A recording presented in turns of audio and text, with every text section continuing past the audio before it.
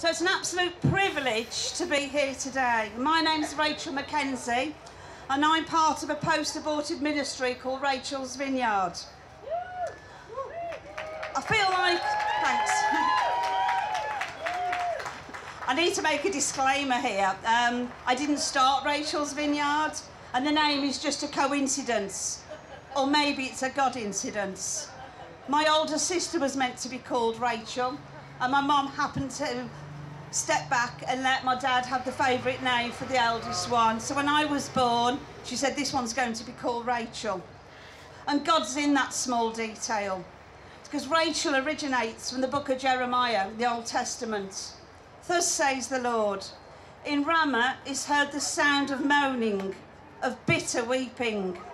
Rachel mourns her children. She refuses to be consoled because her children are no more.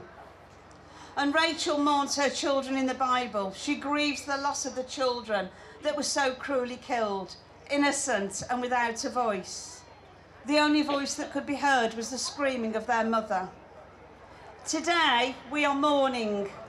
We are mourning 9 million children lost in the UK since the Abortion Act 50 years ago. I haven't got time to mention every single child because I don't know about you, but I can't get my head around the number 9 million.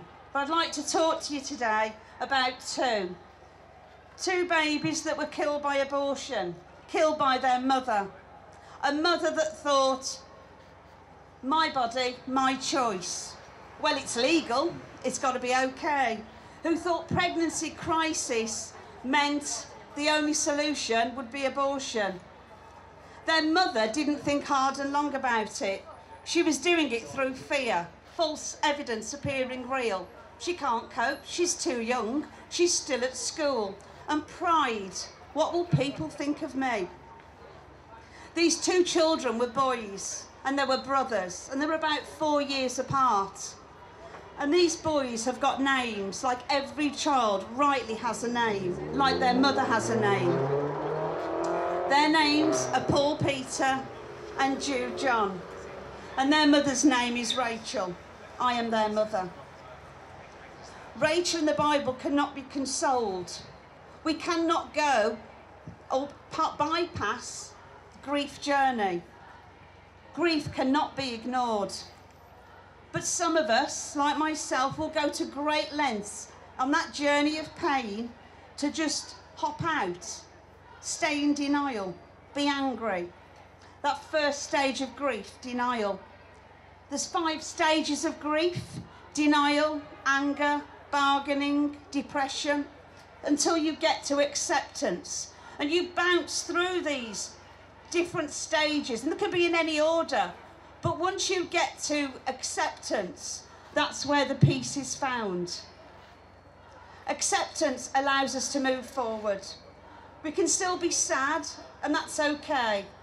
But once we've reached that, that place, that journey to, through grief, that's where the peace is.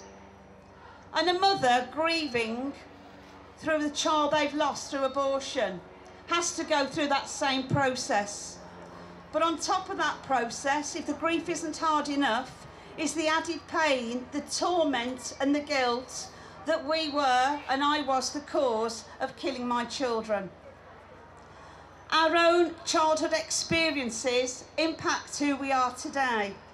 And my childhood was interesting to say the least. And I picked up a weapon of choice from a childhood.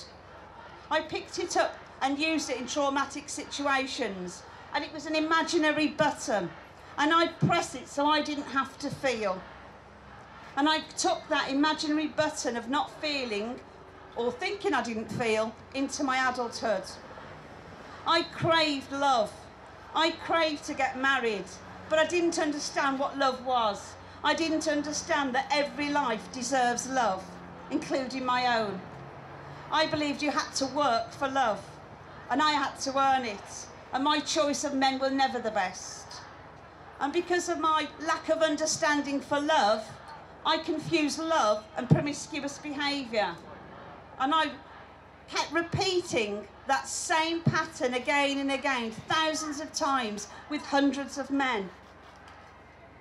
So it wasn't long, obviously, if that's the kind of life I was going to lead, that I was going to eventually become pregnant. And I became pregnant for the first time when I was about 17 or 18. I don't know the age because of that button that I used. I was frightened, scared, alone. Fear gripped me. And I immediately went into that first stage, denial. I just wanted it to go away. But it wasn't going to go away on its own. I would have been nearly 24 weeks of just hoping that I was going to miscarry. I know the, the only reason I know that is I know they were panicking in the abortion facility. Let's not call it a clinic. And they were panicking that I was reaching that line. I was never offered a choice. One choice is no choice. An uninformed choice is no choice. I was shown no scan. No one was telling me you can do this. And nobody was outside the abortion facility like there is today with the Good Counsel Network and 40 Days for Life. And I'm sure you've heard the propaganda that those outside who are actually very peaceful are not giving people choice and they're the people that I wish had been there for me.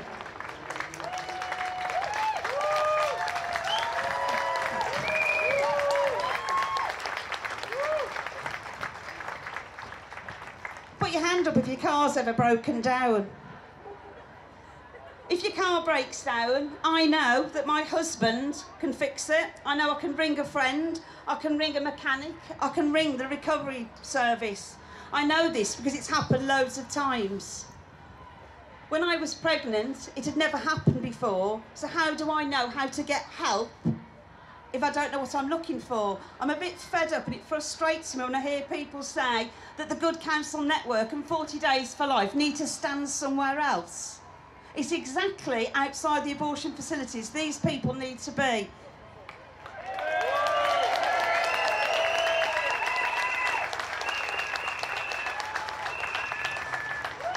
You cannot force a woman to keep her baby, but you can force a woman to have an abortion. Let that sink in.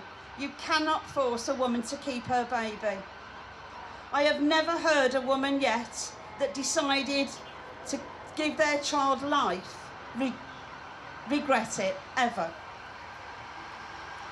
If a woman has thought long and hard about the decision of abortion,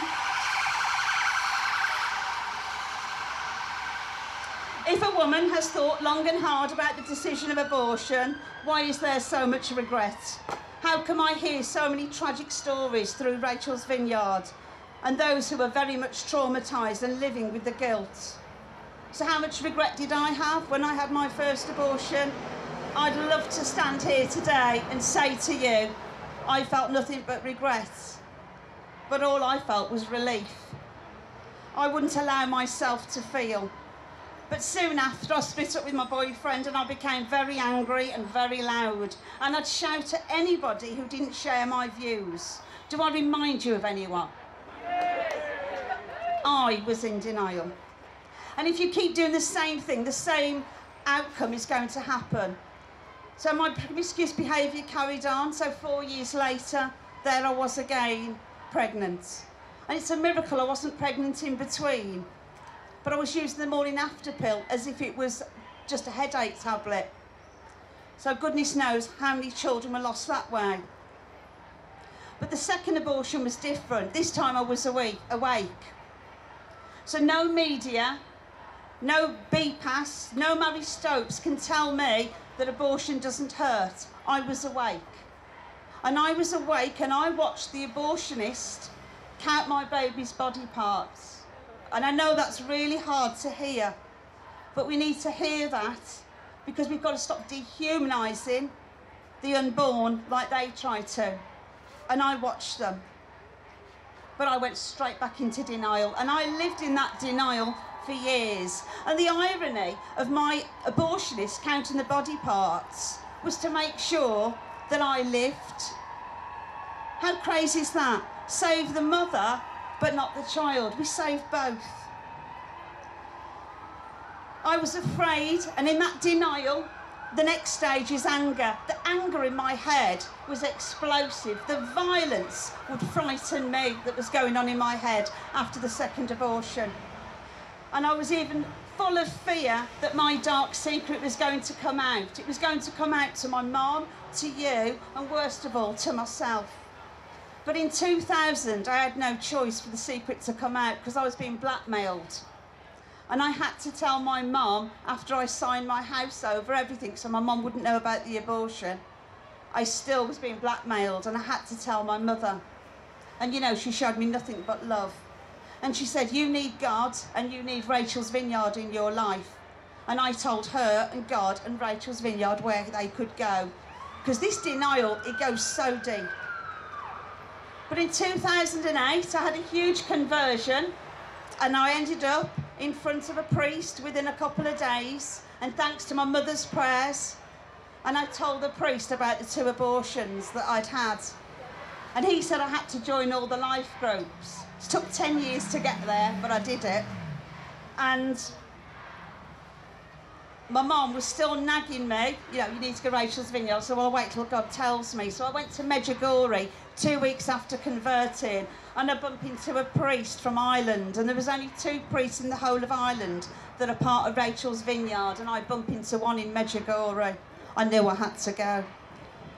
So at Rachel's Vineyard a year later, I went to Cork, quite nervous, everybody is, and there I met I met Jesus and I met the mercy and love of God.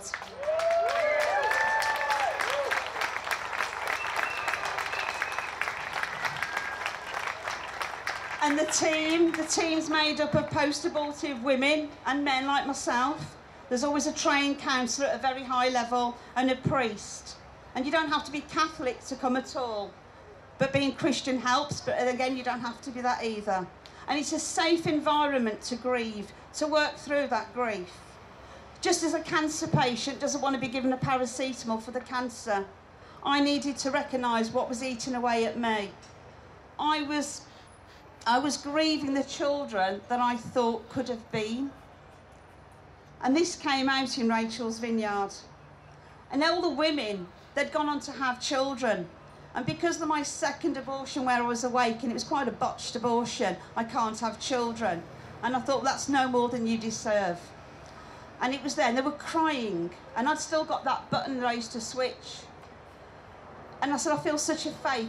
You're all in, all in this terrible turmoil, and I can't cry. And I'm not a mother, and all of you have gone on to have children. And the priest turned round and he said, It's not that you could have been a mother, Rachel. You are a mother. And that just blew my head off. And I swapped God's heart and mercy and I gave him that button and I started feeling.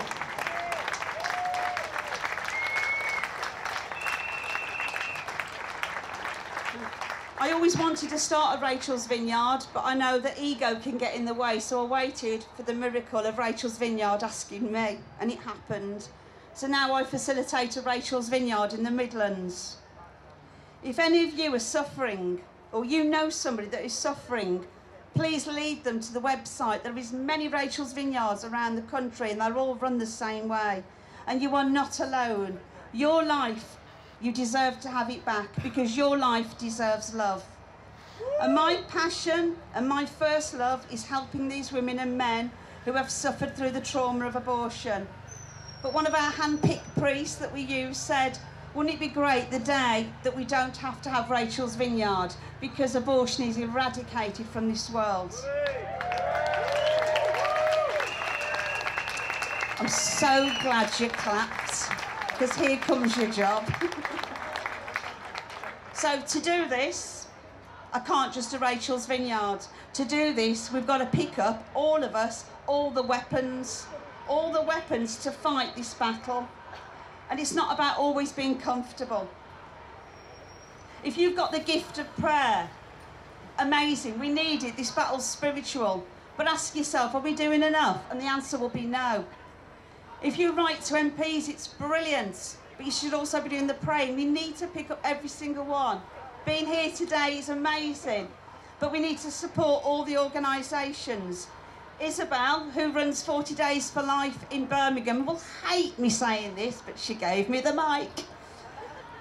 She spent over four hours outside the abortion facility because other people were ill. We didn't have enough backup people. And she didn't do it once, she did it many, many times over the last campaign. We all need to do our part. We need more volunteers. More donations are needed for events like this, for helping the Good Counsel Network and for supporting Rachel's Vineyard. Remember the book of James clearly states that faith without good work and deeds is quite dead. We cannot be silent in the workplace or in our churches. If we say we are Christian, but you know, it's okay in some areas, you know, the 1%, it's okay for abortion there. Well, that's like saying you're vegan as you're chomping away on chicken. You can't do both. If you're Christian, you have to be part of this battle. God's mercy is abundant and it's so beautiful for me. He didn't show me all the terrors that I caused my children straight away. To the point that when I was outside the 40 days vigil, the last one, it was there that I had a flashback and realised that's where I had an abortion 25 years earlier. I kill my children and I cannot make excuses or turn back the time. But I can be used, like Moses, like David, like Paul, who killed in their lifetime before recognising all life deserves love. We need to prevent other Rachels killing their children, and we can only do this through love. My boys, Jude and Paul, deserve love. My life deserves love. And as for Marie Stopes and BPAS and the so-called sister supporter pro-choice groups, you haven't got to like them. You're not called to like them. You're called to love them because every life deserves love. God bless.